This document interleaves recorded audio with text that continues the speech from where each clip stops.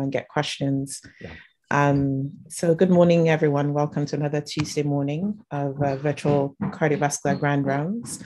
Um, as we speak, I think our hope is that soon in the next few weeks, uh, we can start the transition at least to a hybrid model, um, given or based on what the COVID numbers are doing. But having said that, uh, we all know the uh, house rules. Uh, we'll try to take questions at the end of the talk. Uh, feel free to put questions in the chat or raise your hands um, uh, to be called on to ask questions. So without further ado, I'll ask uh, Dr. Erica Spatz uh, to introduce today's speaker. Thanks, Erica. Absolutely. Thanks so much. Good morning, everyone. It's my distinct honor and pleasure to introduce Dr. Michael Blaha to today's uh, cardiovascular grand rounds. Dr. Blaha is an associate professor of cardiology and epidemiology and serves as the director of clinical research for the Johns Hopkins Ciccarone Center for Prevention at, um, at Hopkins.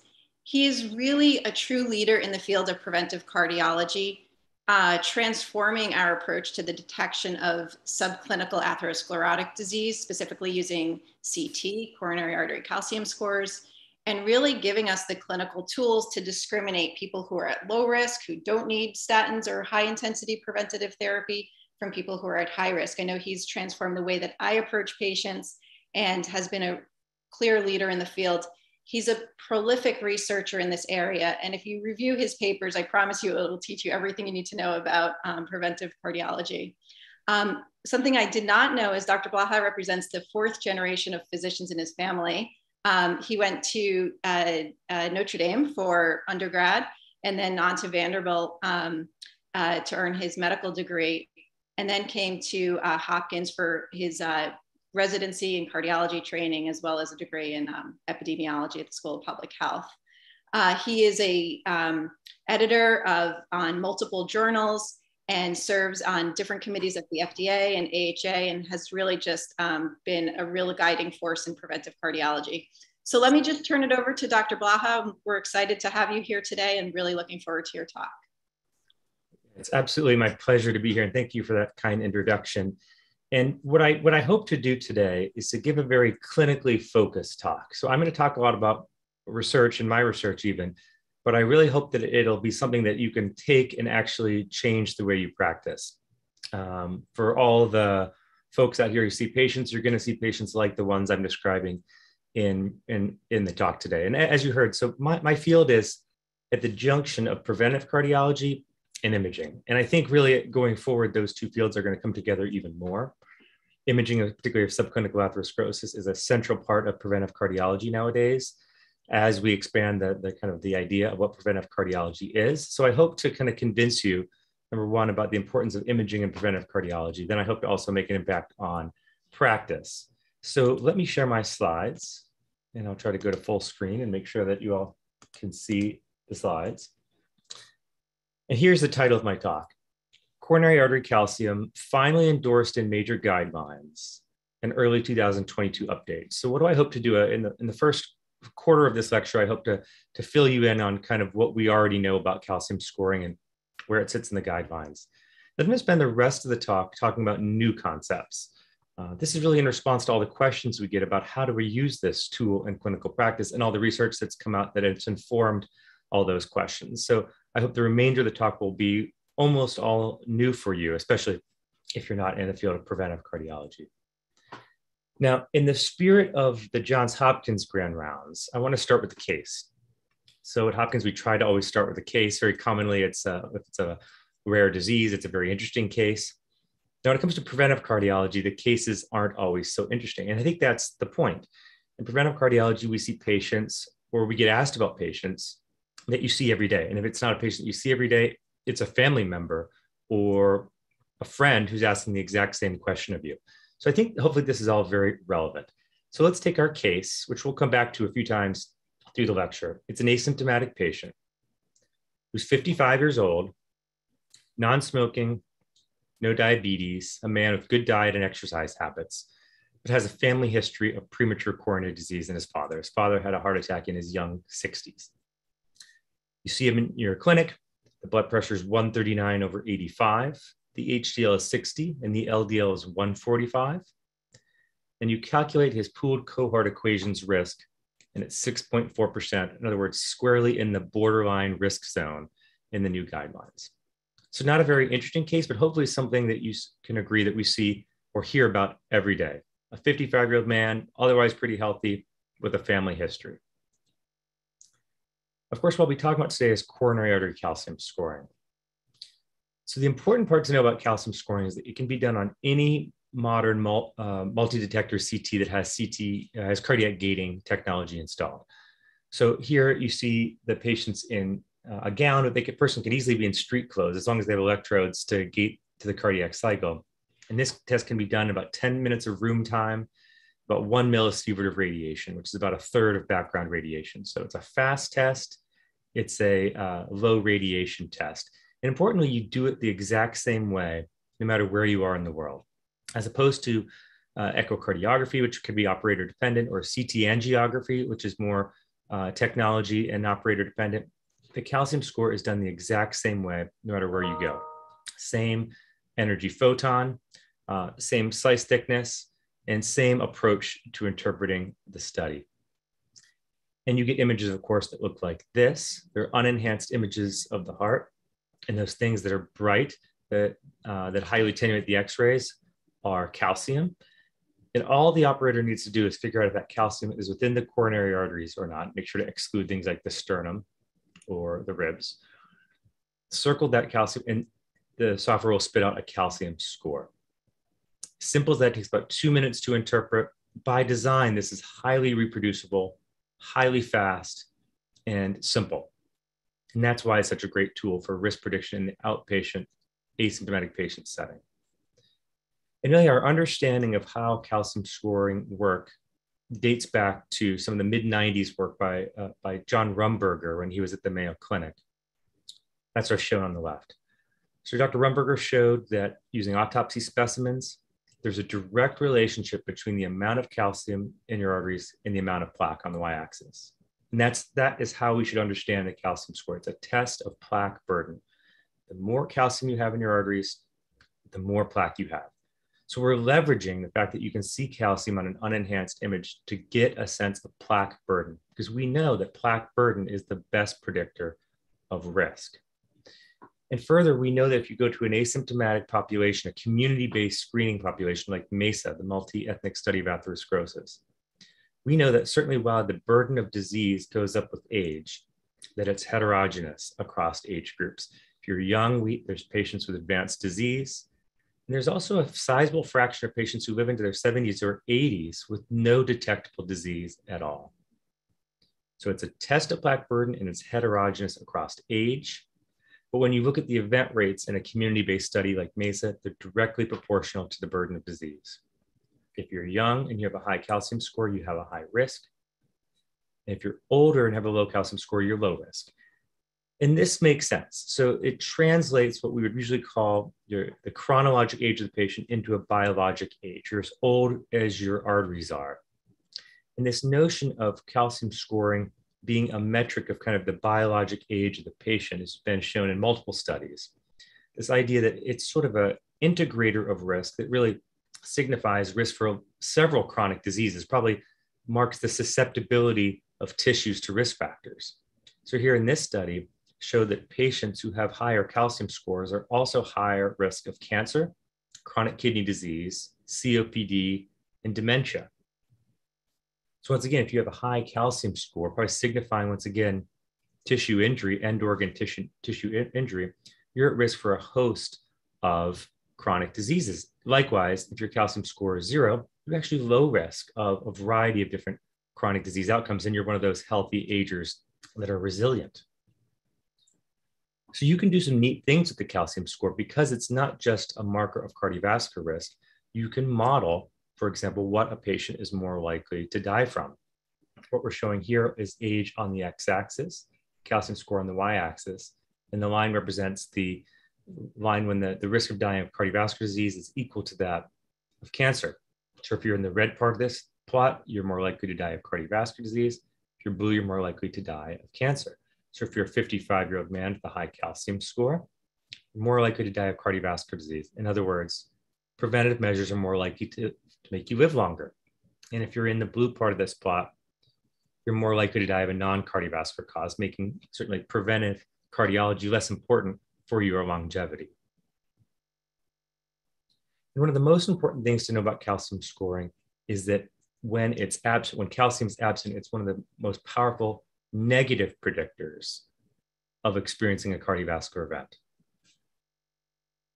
So if your calcium score is zero, it's the most powerful marker that you can have for showing resilience to atherosclerosis, better than having, for example, no family history or no metabolic syndrome features or healthy lifestyle even. This is consistent with what we call the imaging hypothesis of risk prediction, that due to its superior sensitivity for the disease, imaging tests for subclinical atherosclerosis are excellent for ruling out or downgrading risk estimates. So the reason why CT and calcium scoring is so important in primary prevention is not only can it find patients at higher risk, most risk factors by their very nature are designed to find people at higher risk. You know, if you have a, a serum biomarker or if you have a genetic uh, polygenic risk score that's high, it marks high risk and the inference is that you need to treat more. But CT also can identify patients who are lower risk than you thought, who you might suspect have atherosclerosis, but don't, and gives you the opportunity to be more conservative. So a CT not only, calcium scoring not only finds patients that are higher risk, it can also find patients that are lower risk. It enables us to kind of risk stratify in, in a true sense of the word more than other risk factors. And we've argued in the past that the calcium score can help to risk stratify patients that would otherwise be eligible, for example, for preventative therapy. It might be the most rational way to approach primary prevention, identifying the the, the likelihood of benefiting from preventive pharmacotherapy, focusing on treating patients with measurable atherosclerosis that are more likely to benefit from our therapies and, of course, less likely to be harmed. So, this is sort of the uh, concept nowadays of, of, um, of uh, targeted preventative therapy. Can we find the patients that are more likely to benefit and not expose patients who are less likely to benefit to our same preventive strategies. So, of course, this is all baked into the new 2018 cholesterol guidelines. This is all stuff that you know. In primary prevention, if you're age 40 to 75 and don't have super high LDL cholesterol above 190, you start with 10 year risk assessment. If the risk is in the borderline or intermediate risk zone and into 5 to 20% ASCVD risk, you consider things like risk enhancing factors, for example, the family history in our patient. And if the decision to treat the patient is uncertain, you consider a calcium score. So the patient in our vignette had the risk 6.4%. They'd be squarely in this orange group here, where you uh, consider other risk enhancing factors in the calcium score to decide on therapy. And here's the way it's written in the guidelines. There's a class 2A recommendation and intermediate risk or select borderline risk adults.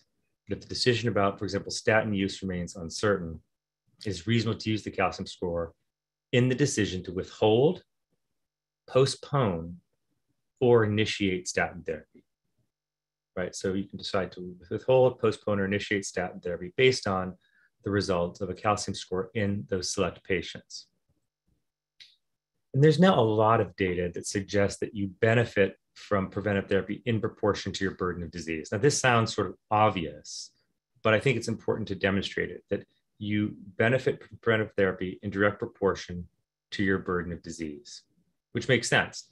So, on the left, this is data from the St. Francis Heart randomized control trial, the only trial that randomized patients to statins with a baseline calcium score assessment. In the bottom part of this curve, it shows uh, this graph, it shows that if your calcium score is higher, you get a greater relative risk reduction with statins. Much more importantly, you get a greater absolute redu risk reduction with a statin. And on the right is data from the Walter Reed experience. This is clinical data.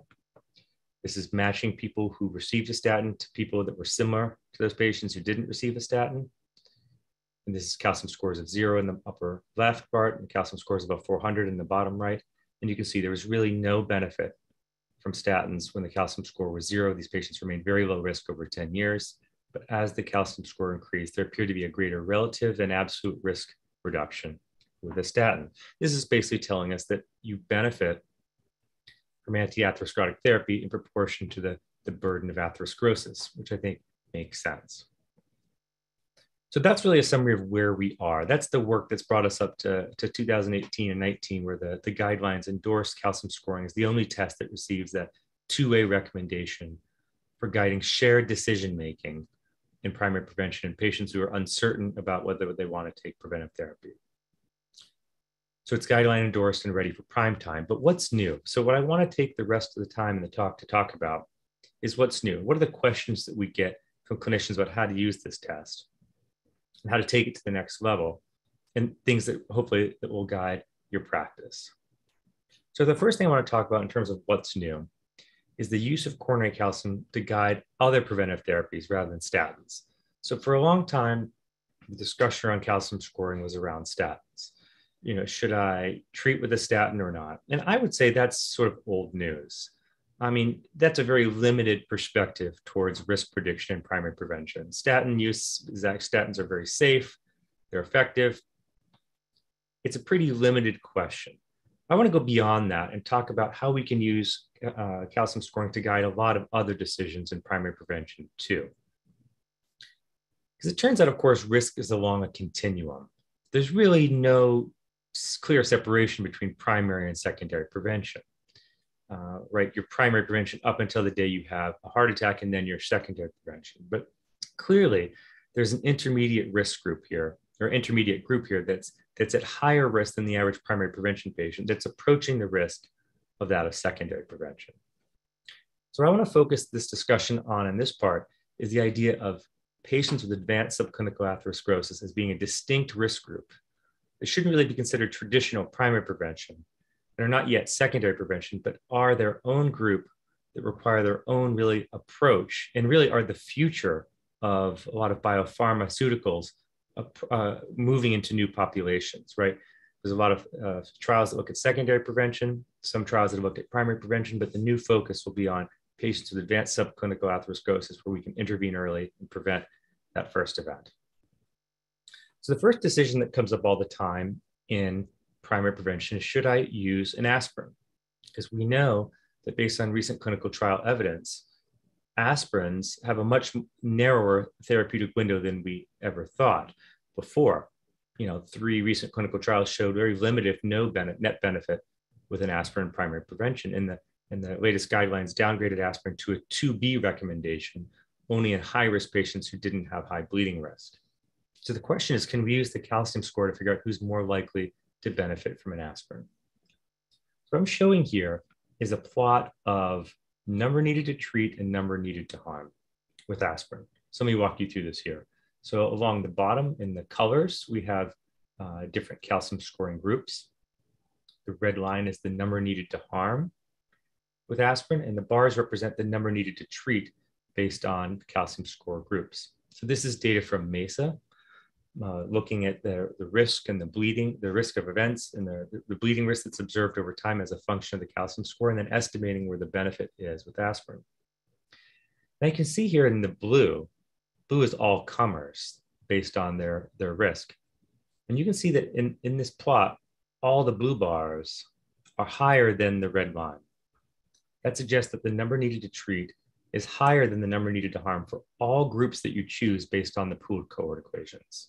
And this is why the new guidelines downgraded aspirin use because you can't use the pooled cohort equations to find a group that has a clear net benefit from aspirin because bleeding risk goes up in proportion to cardiovascular disease risk. So that's the blue bar.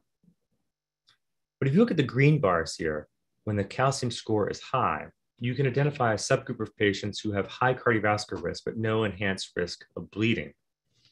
And you can see here when the risk is low or intermediate or even high, when the calcium score is above 100, or certainly when it's above 400, you clearly see that the number needed to treat is lower than the number needed to harm. And likewise, when the calcium score is zero in orange, clearly the number needed to treat is much higher than the number needed to harm. So the first thing I think you can use the calcium score for clinical practice is the decision about aspirin. I would say anyone who has a calcium score of zero absolutely should not be on aspirin, in my opinion. I will take them off of aspirin if the score is zero, you can see you're much more likely to harm patients than you are help them when the calcium score is zero. And I will selectively use aspirin only in primary prevention when the calcium score is above 100. And this is what's written in the newest SCCT guidelines, as well as the National Lipid Association guidelines. When the calcium score is above 100, use an aspirin. And what's lower than that, probably don't, because you're more likely to cause harm. So here's where the calcium score can help you with another decision about how, uh, when to use aspirin in primary prevention and selectively using it just in those patients with advanced subclinical atherosclerosis. Okay, how about blood pressure? So we're always making decisions about blood pressure too, how aggressive to be with our blood pressure goals. And as you know, the new guidelines suggest that if you have a blood pressure between 130 and 139, you're in the stage one hypertension group. And then if you're high risk, you should start preventive pharmacotherapy. And if you're on the lower risk side, you should try lifestyle to try to get that blood pressure down. This paper here showed that, of course, the calcium score helps to risk stratify patients that are in the stage one hypertension group. And then let's ask the question, well, how tight should we be with blood pressure control? And this is data from one of our studies, the Coronary Artery Calcium Consortium. And what this study asked is, can you identify patients using the calcium score that are as high as risk as patients who are enrolled in the SPRINT trial? Of course, the SPRINT trial was a study of about 10,000 patients that were high risk, randomized to intensive blood pressure control or more of a standard uh, blood pressure control target. And of course, there was a decrease in events when you aimed for intensive uh, blood pressure control in these high risk patients. So if you then look at the event rate in SPRINT and then look at the relationship of the calcium score to events, you can identify what calcium score gives you the risk equivalent to that of someone that would have been enrolled in the SPRINT trial. That's about a calcium score of about 250 or so. Let's call it 300. So when, you when your uh, calcium score is about 300, you have the risk equivalent to someone enrolled in the SPRINT trial. And what I do in clinical practice, when I've got patients with high calcium scores, I aim for intensive tight blood pressure control in such patients because they're high risk patients. In other words, once again, treating that patient with advanced subclinical atherosclerosis differently than I would a routine primary prevention patient, maybe that had a calcium score of zero, where lenient, more lenient blood pressure, pressure control might be acceptable. Okay, what about cholesterol? So it always comes up, well, how tightly how much should I lower the LDL cholesterol? Well, this is just a study here. It's been replicated a couple times now. It shows that how high risk patients are that have scores above 1,000. If your calcium score is above 1,000, you're very likely to have four vessel disease, including left main uh, atherosclerosis. You're very likely to have extra coronary disease in your, your aortic valve, your uh, uh, aorta, your mitral annulus, et cetera and you're extremely high risk, even higher risk than patients who have scores, let's say, of 300 or so. We're here showing the CHD mortality and CVD mortality by the calcium score. And when the calcium score is above 1,000, you can see that you have a risk that's equivalent to or exceeds that of the placebo group of the Fourier trial, which was a trial of evolocumab, a PCSK9 inhibitor, and secondary prevention. So you can identify patients that are just as high as risk as those patients you enroll in secondary prevention trials who have advanced subclinical atherosclerosis. And that's shown here from MESA. Again, replicating this, calcium score on the x-axis, the event rate on the y-axis. And this is showing equivalency of risk to patients from the Fourier trial. So calcium score of about 900 in MESA gave you the same risk as someone from the Fourier trial. But in the Fourier trial, there was also lower risk subgroups of patients in secondary prevention, patients who had only one myocardial infarction or only had single vessel disease at the time of their index event. And you can see that calcium scores in the 300 or 600 range give you risk equivalent to those lower risk patients enrolled in the Fourier trial. So once again, I'm trying to paint the picture that you can find patients in primary prevention that are starting to overlap in risk with some of the patients that we traditionally consider secondary prevention. Okay, so what about cardiometabolic drugs? So right nowadays we've had a, a, a boom in our knowledge about drugs like GLP-1 receptor agonists or SGLT2 inhibitors, drugs uh, indicated for diabetes, but also for cardiovascular risk reduction. And the question is just when do we employ them in practice? We all see a lot of patients with diabetes. Well, this is looking at the ESC guidelines. The ESC guidelines say that if you've got a patient with diabetes who has ASCVD, or who is high or very high risk of ASCVD and is drug naive, the first drug should be an SGLT2 inhibitor or a GLP-1 receptor agonist if that patient is high, or very high risk or has ASCVD. And only if that patient isn't in one of those high risk groups do you go down a more conventional pathway of metformin and other oral therapies. The question is, can you use the calcium score also to find patients that are high risk in diabetes, high enough risk to start upfront use, for example, of an SGLT2 inhibitor or a GLP-1 receptor agonist? And perhaps not surprisingly, the calcium score once again risk stratifies patients with diabetes. And if the orange line here was the, the line that uh, would be of kind of presumed uh, cost effectiveness of, um, let's say, a GLP-1 receptor agonist in clinical practice, patients with high calcium scores are, are, are patients who are much more likely to get uh, a cost-effective net benefit from the drug.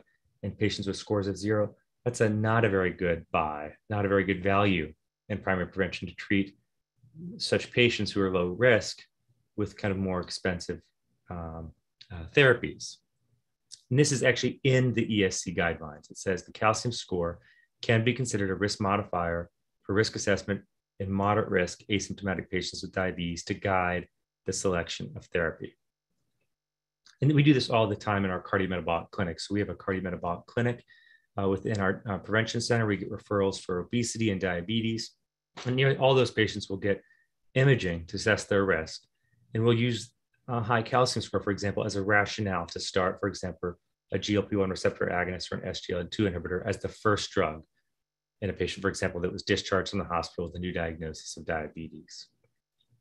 Okay, so I've, I've showed you how I think the calcium score is much more than just a decision maker about statins.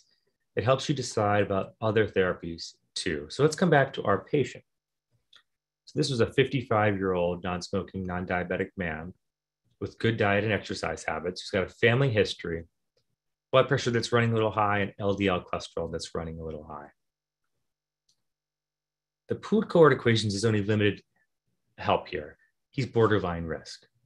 So there's a moderate level of evidence to consider a moderate intensity statin in this scenario. But have we done enough? Have we personalized this therapy at all? So what I'd recommend in this patient, what I would do is I would do a calcium score. And this was a patient for my clinic recently.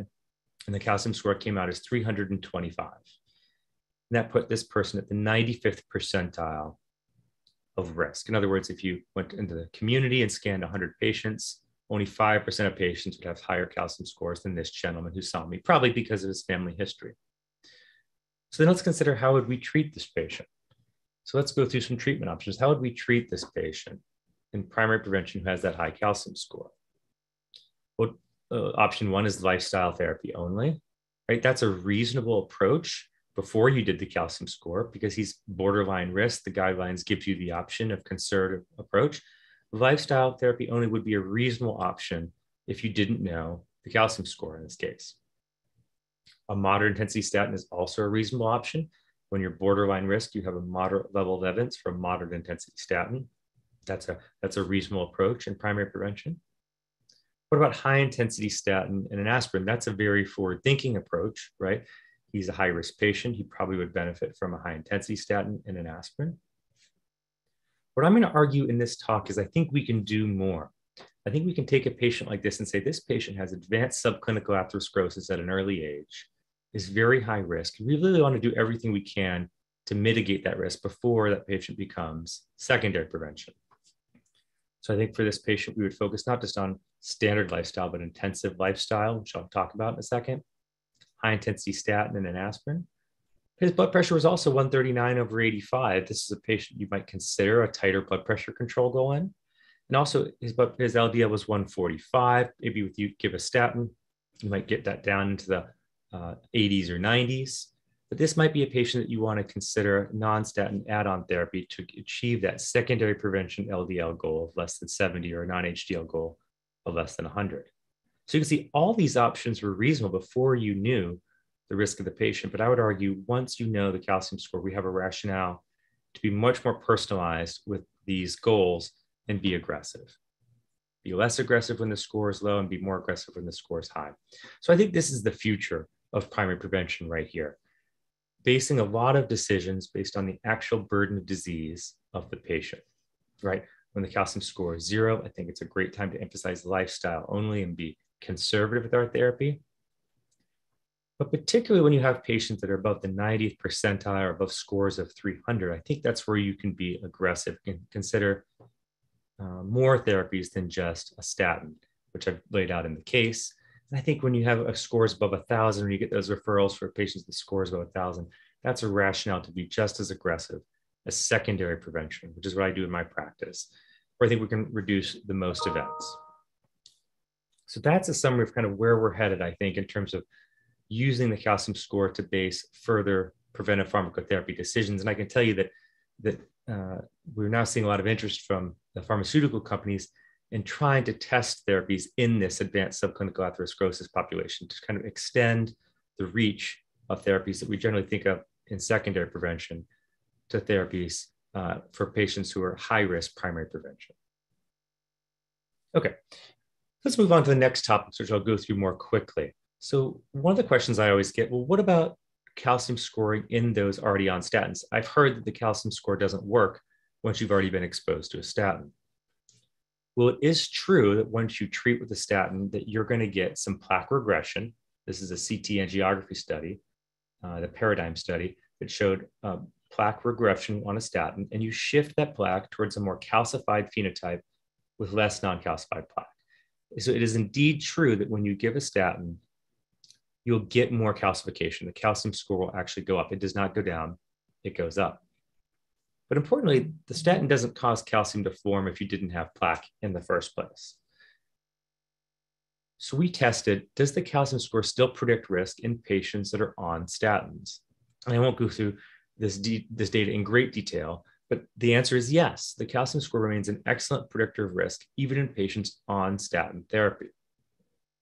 So this is very relevant for making decisions about, for example, aspirin or non-statin therapy or blood pressure goals, even when a patient has a history of having um, uh, uh, a non-zero calcium score, or in your patients with statin intolerance who come in and say, I took a statin for a while, and now I can't tolerate it anymore, and you're trying to figure out their risk.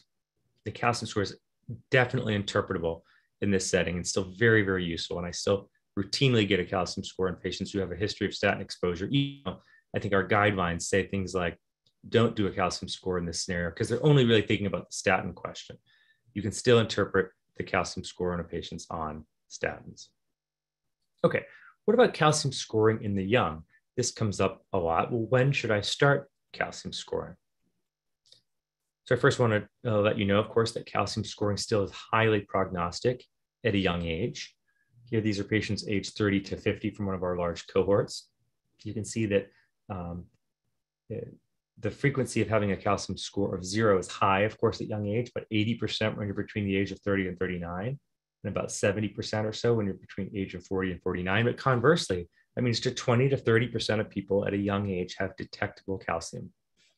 If you look here at uh, mortality rates, even those young patients that have high calcium scores are at increased mortality in the next decade. These are the patients that have those premature events that we seek the most to prevent.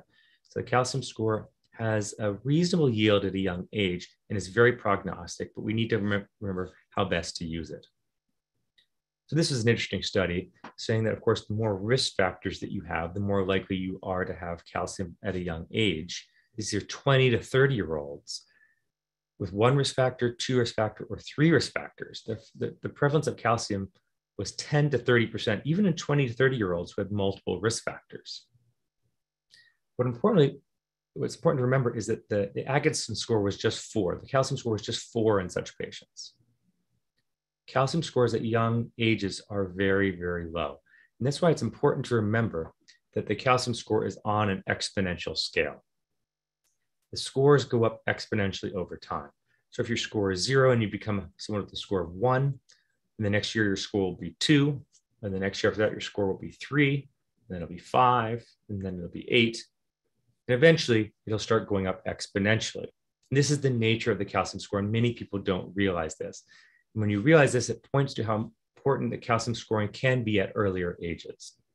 So most people don't realize that the Agatston score, the calcium score, is on an exponential scale.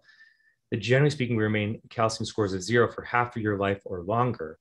then it can take 12 to 15 years for you to progress from a calcium score of one to a calcium score of 100, but only a few years to go from a score of 500 to 800. So there's a much bigger difference at the lower range of the calcium scores than there is at the upper range. So let me show you a patient at the 90th percentile. Generally speaking, you progress, your calcium score progresses at your percentile curve in, the absence of kind of an intervention. So here's a patient in the 90th percentile. So if you have a patient in your practice that's age 50 with a score of 110, or patient at age 60 whose score is 450, that patient would have had a score of about 10 at age 40. In other words, would have been clearly detectable with a positive calcium score at age 40, or even probably at about age 35 in this case. Someone who converts to a non-zero score about age 35 will be on this curve and will have a score of above 1,000 at age 70. You can see the exponential growth in the calcium score, but likewise, the yield is reasonable at the younger ages. And the relationship of the calcium score with events, therefore, is logarithmic. So most of the risk stratification of the calcium score occurs in this lower range between, so let's say, scores of zero and 300 or so.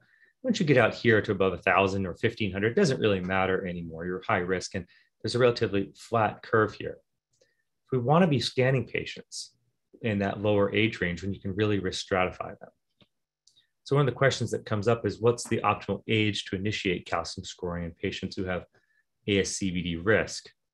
And that was this paper that we did in JACC recently, just to show that when you have risk factors, of course, you develop calcium sooner.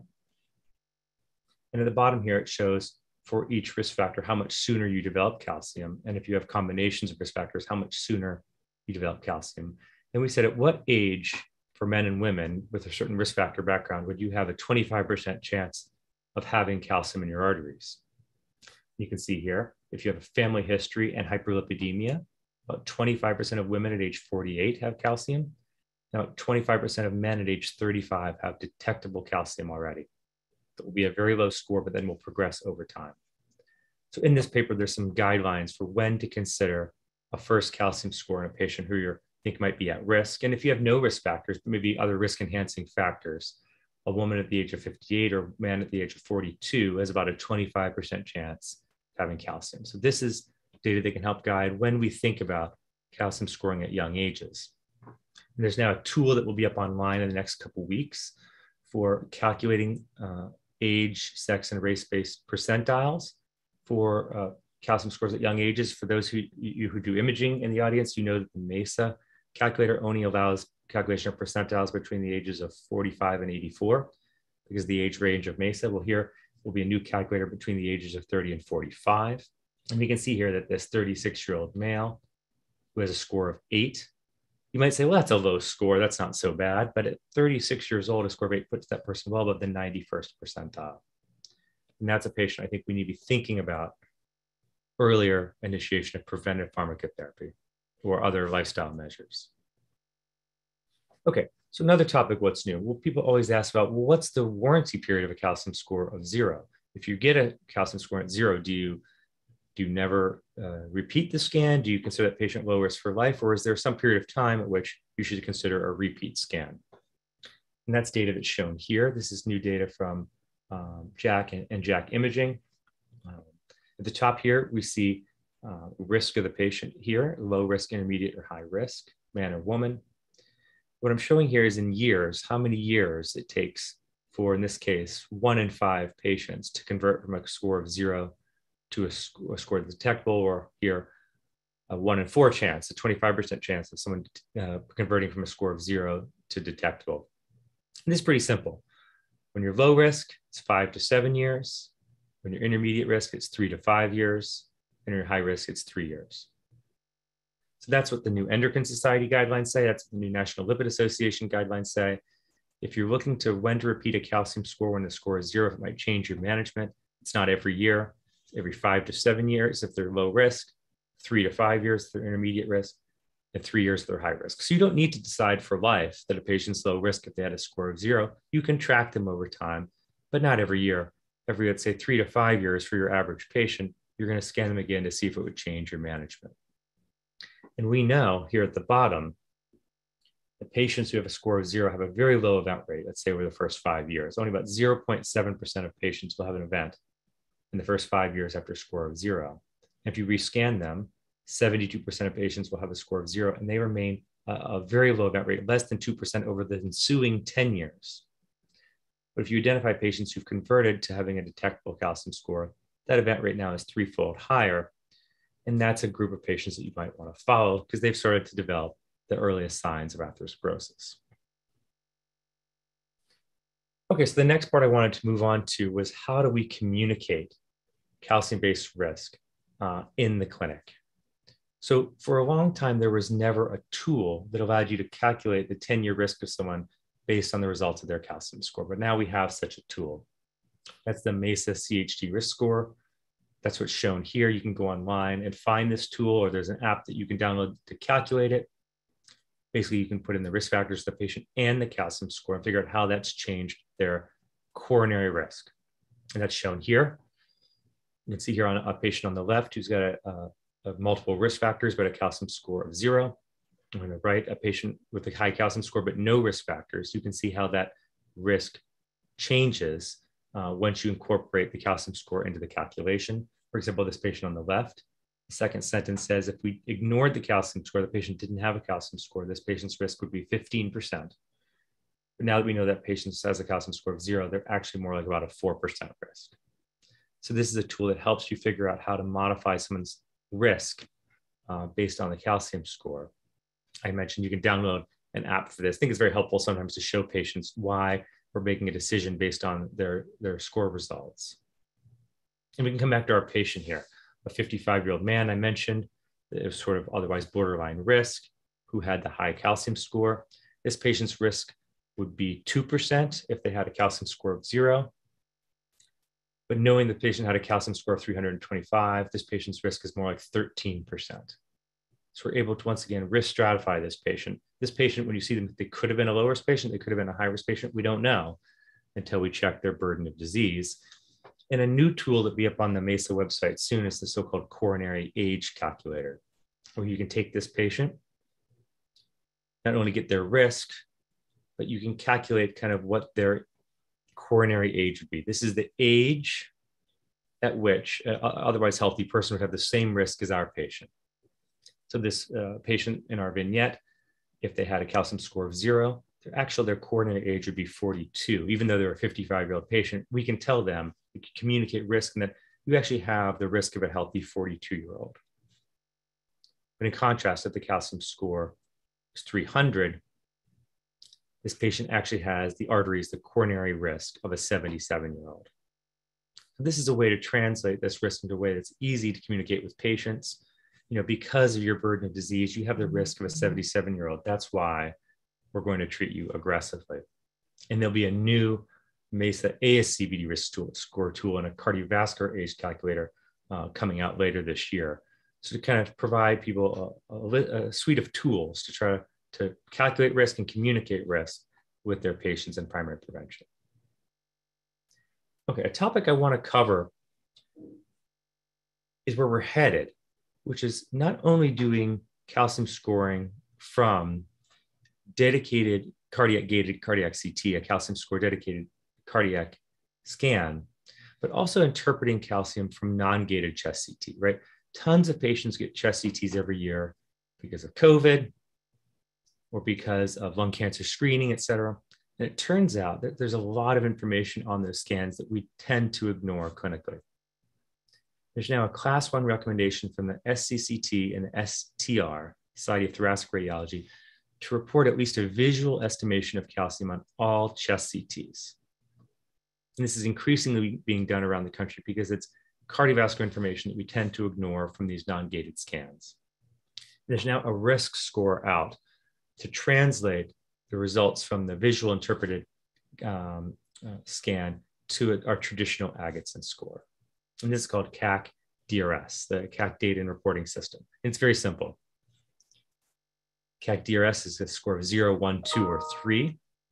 Score of zero is when you don't have any calcium, one, mild calcium, two, moderate calcium, three, severe calcium. And it's meant to map on traditional calcium scores of zero, one to 100, 100 to 300, or greater than 300. Because we know that experienced readers can look at a chest CT and say, that's about a score of 200, that's about a score of 400, and put patients into general categories.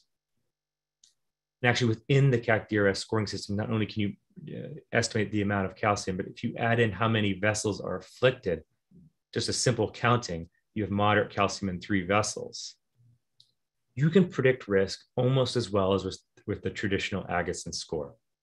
So just a visual estimation from chest CT that you have moderate calcium in three vessels, for example, puts you on a risk continuum without even having to do a formal calcium score. So I encourage all the fellows out there, or anyone seeing patients, I mean, many of your patients have had a former chest CT, just to open up that chest CT and look at it. Don't need a formal score. You can't do a formal score on an ungated study, but you can get us an assessment of how much disease they have and, and, and do an incredible job of risk stratifying them just with this free information incidentally noted on a chest CT. So I wanted to point out to the listeners who are interested in these topics that the 2021 National Lipid Association guidelines on calcium scoring were really outstanding, I think. Um, they, they have a great infographic that summarizes all the kind of the need to know points about calcium scoring. I think I've covered many of them here.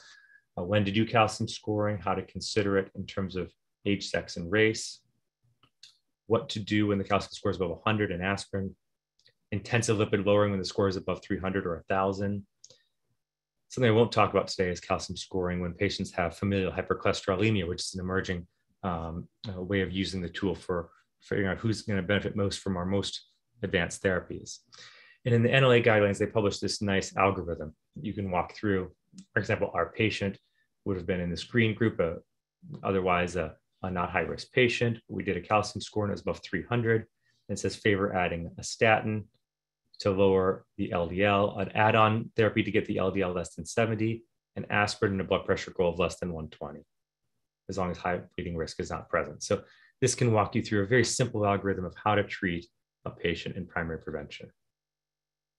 Okay, so let's get close to closing that with the, the last uh, key new topic I wanted to cover, and that's calcium scoring in chest pain.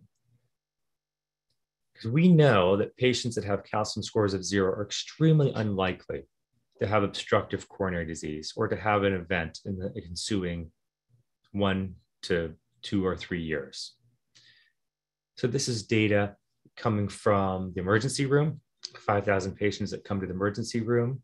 Many patients that come to the emergency room with chest pain actually end up being low risk. 56% of those patients had a calcium score of zero. And following up those patients, one in one in 20 of those patients had any plaque at all. Less than one in 100 of those had obstructive coronary disease, and less than one in 200 of those patients needed a revascularization in the, in the near term. In other words, the calcium score of zero had a 99.3% negative predictive value. You have to scan 264 patients um, or treat 264 patients who have a negative scan to find one patient who might get a near term benefit on a non fatal outcome. And that's why the new chest pain guidelines say if you have a patient with stable chest pain, in other words, they don't have elevated cardiac biomarkers, they don't have a, a acutely injurious EKG, they don't have known CAD, it's reasonable. There's a 2A recommendation to do a calcium score in that setting to modify your pretest probability, right? You've started with a low risk patient, uh, low risk chest pain scenario. It's a 2A recommendation for both a calcium scoring or an exercise stress test to risk stratify that patient further. Especially when the score is zero, you can stop your evaluation there.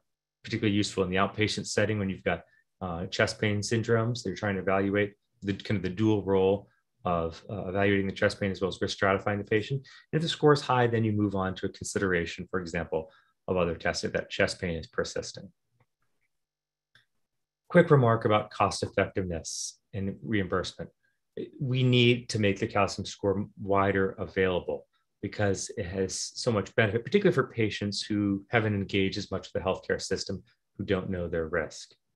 I'll just say that there's multiple studies now showing that the calcium score is a cost-effective test when it's priced below $150. At our center, we do it for out of pocket for $75, for example. But a very innovative study from Cleveland showed that if you offer this test for free what happens? Well, you get more women that get the score done, you get more African Americans to get the score done, and you get more lower income Americans that get the score done. So if we make this test cheaper and more widely accessible, we can broaden the net, particularly for underrepresented folks who could benefit from advanced risk stratification. I won't have time to talk about clinical trials in the calcium score space much today, but I'll say that was a NHT uh, LBI workshop uh, thinking about how can we raise the level of evidence for calcium scoring even higher. There's some interesting ideas for using the calcium score in innovative clinical trial designs.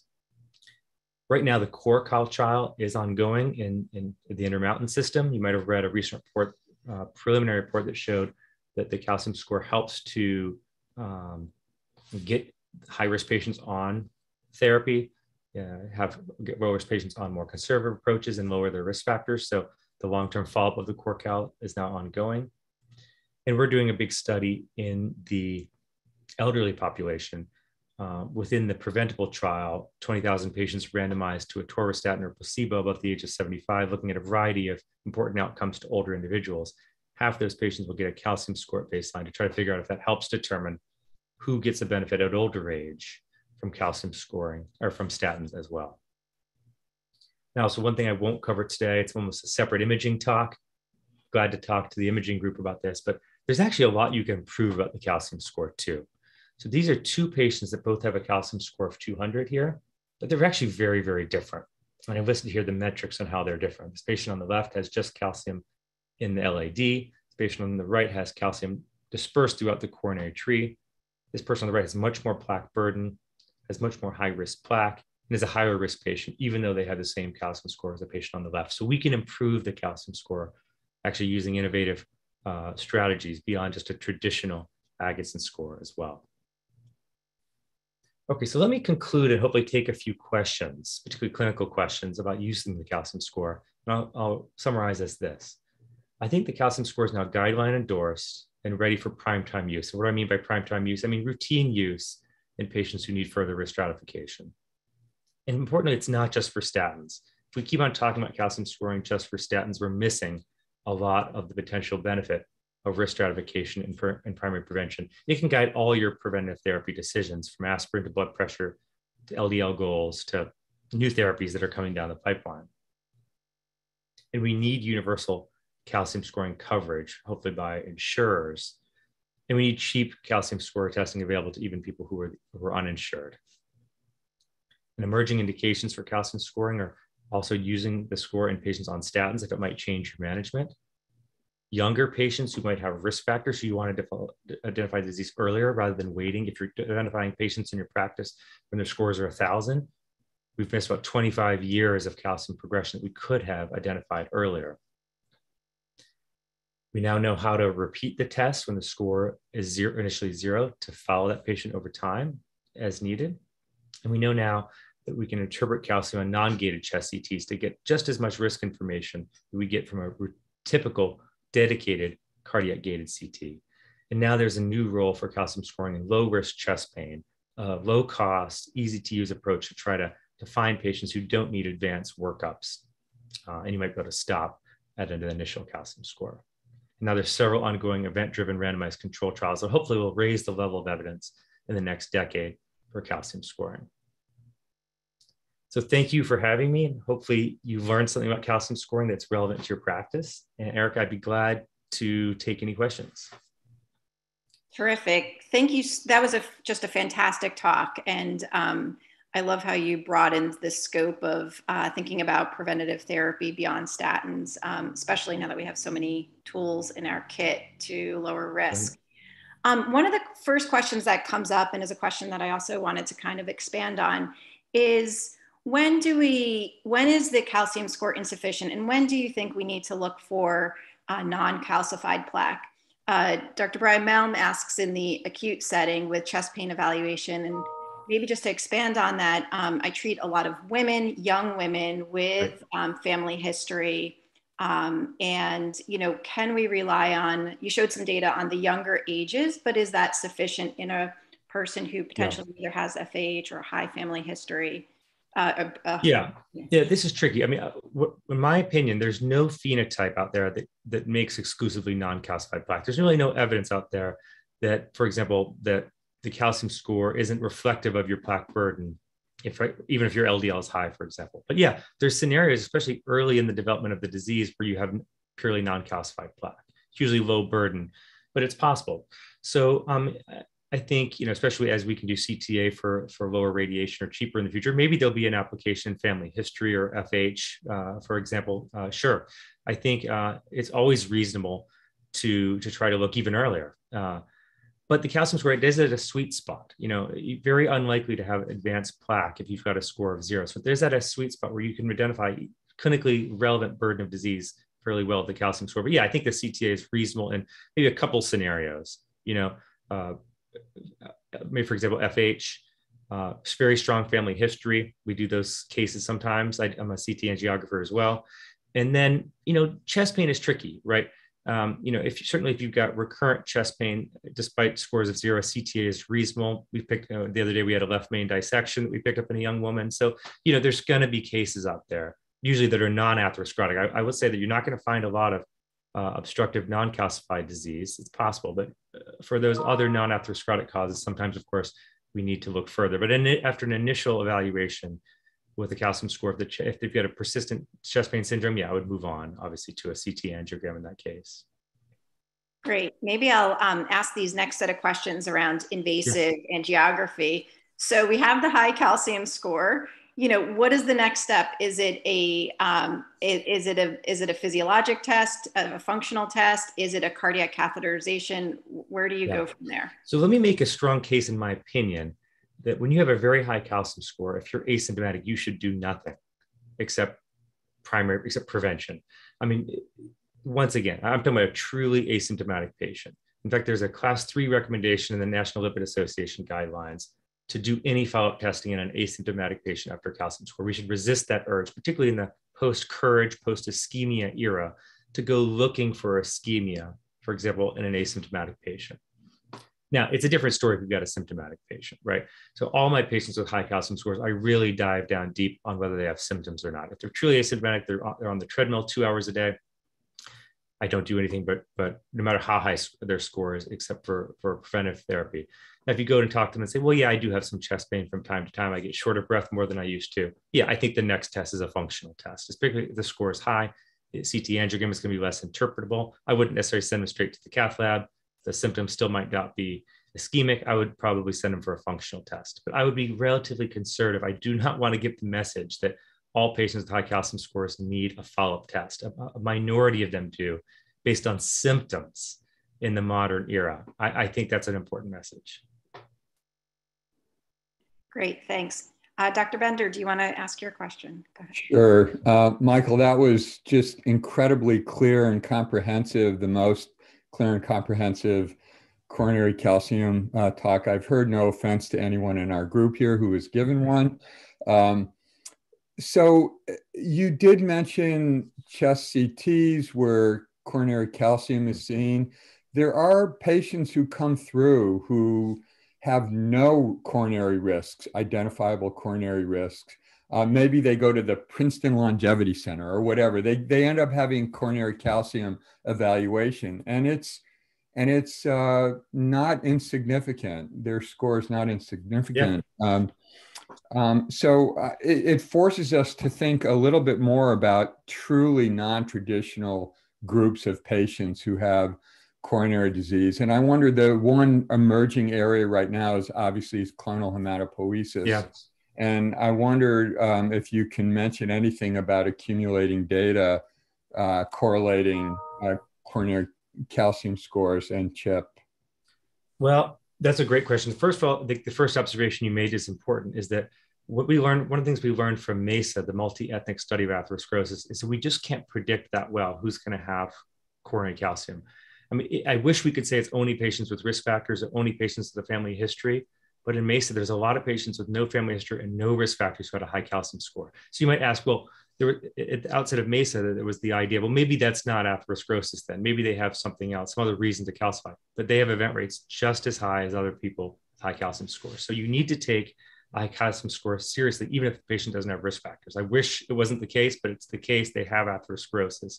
Likewise, patients have multiple risk factors and no atherosclerosis. I wish we understood that better too, right? We need to understand the susceptibility, but also the, the uh, resilience factors too. Why can you have risk factors your whole life and high cholesterol and no atherosclerosis? It's, it's fascinating, but but you're right. There's patients in particular that are just missed with traditional risk uh, scoring who are high risk, who are more likely to have calcium. I don't I know a lot of data on CHIP yet. I mean, I, I, would imagine that the mechanism there is atherosclerosis, and I think we need more data there. But certainly, patients with high polygenic risk scores are more likely to have calcium. There's some great data on that. Patients with inflammatory diseases, of course, uh, HIV has been well demonstrated, uh, well demonstrated in rheumatoid arthritis, for example. Um, are, some of the ones that stand out to me the most. Uh, so, so those are patients we routinely calcium do calcium scoring, and of course, patients with kind of metabolic syndrome features that don't really have as much uh, of the traditional risk. All I think benefit from calcium scoring, and we need a lot more data on this. We need a lot more data to kind of shift the model away from just purely relying on the traditional risk factors in these patients that have emerging risk factors like CHIP, other genetic factors, et cetera. It, it's, it's a really awesome area. And I also want to know why people are protected from atherosclerosis in some cases yeah. too. I don't think we understand that well at all. Yeah, thank you. Terrific. I realize we're at the top of the hour. Maybe we could just do one more question that's in the chat um, around prediabetes and the spectrum of risk within that group, and how does calcium scores play a role? Yeah, I love it in the prediabetes area. So I think we're, we're, we're about to see a big revolution in the treatment of obesity and the treatment of metabolic risk, right? Um, I, am a huge uh, GLP-1 receptor agonist advocate. In my cardiometabolic clinic, we use it a lot. And as you may know, I'm getting a segue a little bit here, but as you may know, there's a trial ongoing right now in patients who are obese that have cardiovascular disease but aren't diabetic, and they're treating with the GLP-1 receptor agonist. As you know, you can get 16% weight loss in this setting. Uh, and it's very likely, I think, you're going to see a cardiovascular benefit. So I think that's going to shift all of our thinking towards that we can treat obesity or pre-diabetes in a way similar to we we metabolically we treat diabetes. So I think that this is a, a very important area. Obesity, metabolic syndrome, those patients that are obese and have metabolic syndrome that are high risk that we would have said before, well, you, you don't have diabetes yet. You're really not a candidate for, let's say, weight loss therapy or, or, uh, or some other approach. I think we're going to see a, a change there. So I think uh, in the cardiometabolic clinic that we have now, we routinely uh, in patients that say that are obese that have prediabetes, we'll do a calcium score on them because they're not all categorically high risk, and you can find those patients that are particularly high risk and treat them more aggressively. So I, I love that indication. Terrific. Thank you so much for spending your morning with us. I'm sure we could pick your brain forever on this call, but um, I want to be respectful yeah, of the time. Go ahead and take um, any questions that they come up later. And I appreciate opportunity to talk. It's great. Thank you, Erica. Absolutely. Okay. Hope to see you at ACC. Take care.